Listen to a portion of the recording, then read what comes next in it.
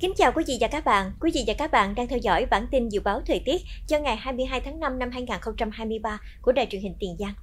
Thưa quý vị và các bạn, trong 24 giờ qua, thời tiết toàn tỉnh có mưa rào và dông. Theo Đài khí tượng thủy Giang tỉnh Tiền Giang dự báo trong 24 giờ tới, tỉnh Tiền Giang ảnh hưởng bởi rìa phía Nam dùng áp thấp nóng phía Tây trên cao, áp cao cận nhiệt đới có trục qua Trung Trung Bộ. Thời tiết trên toàn tỉnh mây thay đổi, mưa rào và rải rác có dông, cục bộ có mưa dừa, mưa to. Mưa tập trung chủ yếu vào chiều và chiều tối. Trong cơn mưa thường xảy ra các hiện tượng thời tiết nguy hiểm như dông, tố, lốc và gió giật mạnh. Ngày nắng gián đoạn, gió Tây Nam cấp 2, nhiệt độ dao động từ 26 đến 33 độ C.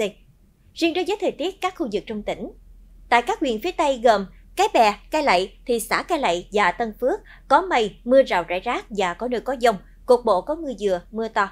Nhiệt độ thấp nhất từ 27 đến 28 độ C, nhiệt độ cao nhất từ 32 đến 33 độ C, có nơi trên 33 độ C.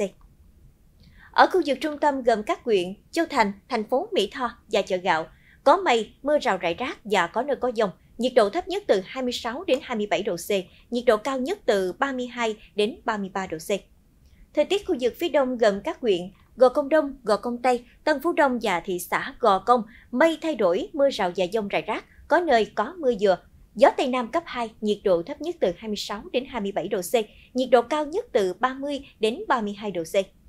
Đối với khu vực trồng cây ăn trái trong những cơn mưa đầu mùa, thường xảy ra các hiện tượng thời tiết nguy hiểm như gió giật mạnh, tố, lốc. Do vậy bà con cần chằng buộc, chống cành, chống cây, hạn chế độ ngã cây, rụng trái khi có gió mạnh. Khơi thông cống rãnh thoát nước, dùng gốc quanh tán không để ngập nước, ảnh hưởng đến sinh trưởng và phát triển của cây khi mưa lớn kéo dài. Còn đối với khu vực nuôi trồng thủy sản, tăng cường gia cố tu sửa bờ ao, cống lấy nước để hạn chế hư hỏng sạt lở do mưa lớn. Ngoài ra cần chú ý theo dõi và bổ sung oxy hợp lý bằng quạt nước hoặc máy bơm tránh phân tầng nước trong ao nuôi.